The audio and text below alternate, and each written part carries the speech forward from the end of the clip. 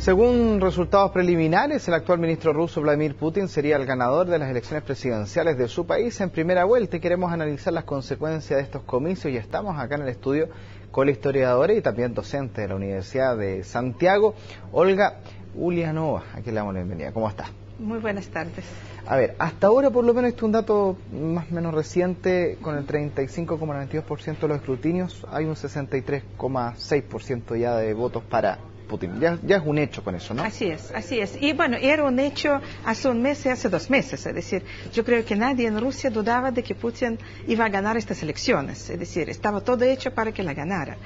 Eh, efectivamente, el expresidente y ex primer ministro y ahora prácticamente presidente electo tiene eh, un arrastre grande entre la población del país pero en los últimos meses aparecieron nuevas tendencias que dieron un sabor distinto, un sabor nuevo a estas elecciones. Pero esas tendencias, ¿qué, tan, qué tanto peso tienen en la política rusa? A ver, eh, la política rusa está dominada por los poderes fácticos, es decir, como política democrática es muy joven, eh, bueno, las primeras tendencias democráticas aparecieron durante la perestroika, eh, bueno, después, eh, durante los años 90, la situación económica era demasiado grave y para la mayoría de la gente que recién se había asomado al espacio público democrático a fines de los 80, en los 90 el primer problema era sobrevivir. Entonces, la democracia, derechos humanos, todos estos temas que recién habían aparecido, nuevamente desaparecieron. Y yo diría que por 20 años, un poquito más de 20 años, en Rusia no pasaba absolutamente nada. Es decir, eh, la opinión pública se expresaba en espacios absolutamente mínimos, eh, al eh, a la, eh, esta dura situación económica de los 90 la reemplazó el relativo bienestar de, de, los años cero, ¿sí? cuando lo que más bien observamos fue una evasión en el consumo. Es decir, esta misma población que sufrió mucho durante los 90, bueno, no quería nada ni con los temas políticos, ni con los temas públicos, ni con la democracia, ni con los derechos humanos. No me importa qué pasa alrededor, pero ahora puede consumir.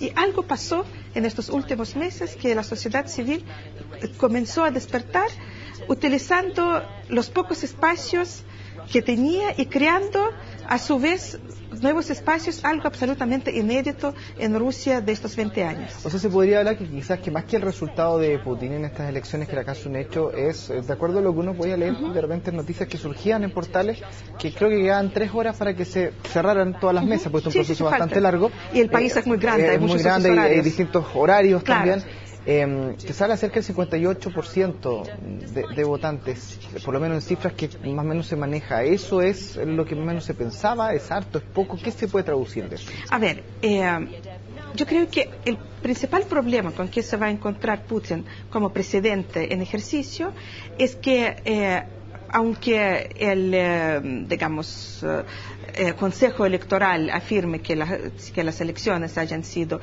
limpias, legales, etcétera, eh, no, hay una- no hay legitimidad moral. Es decir, gran parte de la población in- incluyendo un porcentaje importante de los propios partidarios de Putin, eh, cree que las elecciones no han sido limpias. Y eso va a ser un problema muy grave para la legitimidad del gobierno de Putin. Es decir, independientemente de que si ganó va a asumir el poder, es decir, en el ejercicio de este poder siempre se va a encontrar con este ruido que en realidad no tenía aquella mayoría que se dice que tenía. Y va a tener que enfrentar esa dificultad y gobernar con ella. Yo no sé en realidad si está preparado él y la gente que lo rodea para gobernar en estas nuevas, eh, en estas nuevas condiciones. Efectivamente, él tiene apoyo eh, absolutamente real entre la gente sencilla, en provincia, eh, los trabajadores en su mayoría, etcétera. Eh, bueno, precisamente que ven en él este símbolo de estabilidad que obtuvo Rusia en los años cero en comparación con el caos de los años 90. Pero en las grandes ciudades, y en primer lugar en la capital, en Moscú, en la segunda capital histórica, en San Petersburgo, según eh, las encuestas eh, previas a las elecciones, no llegaba al 50%.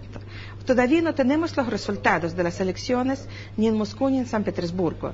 Eh, todavía está el conteo de votos. ¿sí? Ahora, si el equipo de Putin es lo suficientemente inteligente, los resultados, digamos, van a reflejar efectivamente, bueno, lo que todo el mundo sabe, percibe a través de las encuestas previas, a, través de las conversaciones de la calle, en cualquier parte, efectivamente que en Moscú no tiene la mayoría. Entonces, si llega a reconocerlo, bueno, en cierta medida la legitimidad de otros resultados va a subir. Pero, por lo mismo, el que no tenga la mayoría en Moscú, ¿puede ser un problema mm, serio para Putin en sí, su Sí, yo creo que sí, porque, eh, es decir, que no tenga mayoría en eh, aquellos lugares donde se concentra la población con mayor nivel con mayor nivel educativo, donde se concentran los líderes de opinión, donde se concentran los medios de comunicación. Él controla los principales medios de comunicación, controla la televisión. La oposición tiene espacios muy reducidos, pero hoy día estamos en la era de las redes sociales. Y fíjate, un hecho muy interesante. Hace unos seis meses atrás eh, estábamos buscando en las redes sociales en ruso alguna información sobre el movimiento de indignados. Sí, y no encontrábamos nada. Es decir, Twitter en ruso era prácticamente espacio de la publicidad de las marcas. ¿Sí? Y pasó en un tiempo tremendamente corto. Hoy día Twitter en ruso es un Twitter político. El Facebook ocupaba, bueno, muy poca, muy poca gente tenía Facebook, había otras redes sociales más bien rusas, un, desarrollo absolutamente exponencial. Y esto es solamente el principio. Entonces, el hecho de que los líderes de, opinión concentrados en las grandes ciudades, en las capitales, bueno, donde la mayoría de los rusos quisieran vivir, eh, bueno, eso demuestra las dinámicas migratorias, el mercado inmobiliario, etcétera. Es decir, pesan mucho las capitales. O sea, en el fondo... Digamos, eso va a repercutir en el periodo posterior. Y y, de ahí precisamente la dificultad que enfrenta Putin de cómo conformar su nuevo gobierno, cómo articular su política en este nuevo periodo. Putin va a tener que tener una, una, una, sensibilidad distinta a lo que venía acostumbrado en los últimos años, entonces, para exactamente, Exactamente, sí.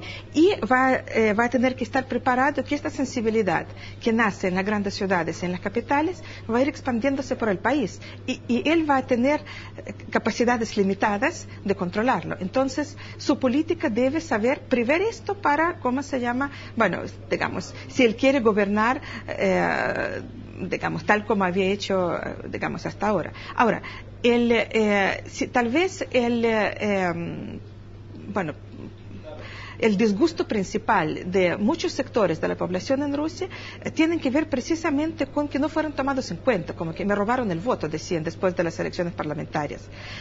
Si tenían razón o no, no tiene importancia en este momento. Lo importante es que lo creían y también creen hoy día que en estas elecciones no hubo transparencia suficiente, digamos, no hubo legitimidad eh, necesaria, etcétera. ¿Eso se puede traducir en, inestabilidad?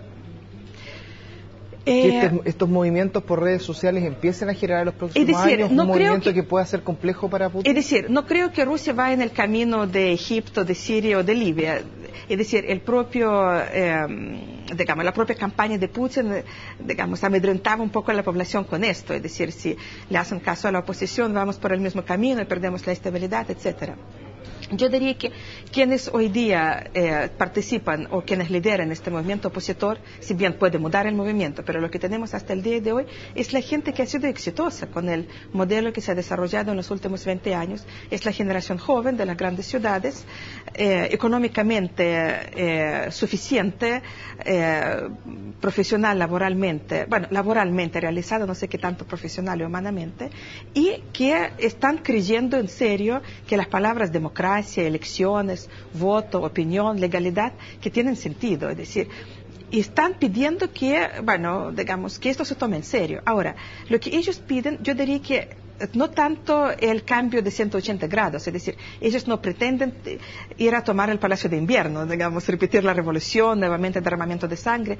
En Rusia se, derramó demasiada sangre durante el siglo pasado, ¿sí? Pero ellos quieren ser escuchados, ser partícipes, eh, aportar, y bueno, depende del gobierno de Putin en este sentido, si tiene o no tiene en el, digamos, en los próximos meses, sí, semanas tal vez, la sensibilidad suficiente para saber cooptar eh, por lo menos parte de este movimiento para conservar la estabilidad. ¿Y pueden surgir nuevas figuras dentro del gobierno? ¿Dentro de su equipo de trabajo o vamos a, quizás a ver los mismos equipos de trabajo los que estamos acostumbrados hace años? Eh, bueno, a ver, en los últimos 20 años, la clase política rusa, más bien los gobernantes en Rusia, se han mostrado bastante exitosos por primera vez en la historia del país en cooptar a sus opositores. durante los mil años de la historia rusa, cualquier tipo de gobierno eliminaba a sus opositores, creaba mártires, oposición más intransigente. en los últimos 20 años aprendieron a cooptar eh, a, sus, eh, a sus contrincantes, a sus opositores. Eh, yo no descarto que algo así pueda ocurrir y que algunos de los líderes hoy día del movimiento opositor de alguna manera sean integrados, digamos, al, sistema. Ahora, hay otros elementos también, es decir, yo creo que el gobierno va a combinar bueno, como lo ha hecho hasta ahora, el látigo con la zanahoria. El problema es que tiene que cambiar la proporción y a lo mejor agregarle a, la zanahoria, digamos, algunos, eh, algunos condimentos, algunos Cambiar los gramos, en el fondo. Claro, sí.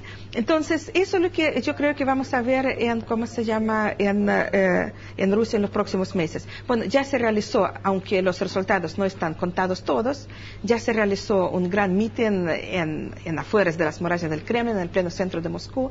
Llevaron en buses eh, desde las regiones vecinas a los jóvenes pro Putin del movimiento pro precisamente esta gente sencilla de provincia que efectivamente todavía le, ¿cómo se llama? Eh, digamos, le tiene mucha simpatía. Eh, bueno, dicen las redes sociales que lloró con un ojo, ¿sí? el, ¿cómo se llama? Bueno, eh, se emocionaron sus partidarios, pero el día de mañana hay un acto de la oposición, digamos, dentro de la oposición se toman eh, las posiciones eh, predominantes, eh, los elementos moderados, democráticos o elementos más radicalizados, yo creo que va a haber también, va a tener que ver también con si el látigo o la zanahoria lo que va a ofrecer el gobierno. Quiero agradecer algo por haber estado junto a nosotros. ¿ah? Gracias a ustedes. Parte del análisis entonces de estas elecciones. Nosotros cerramos esta media hora que esté muy bien.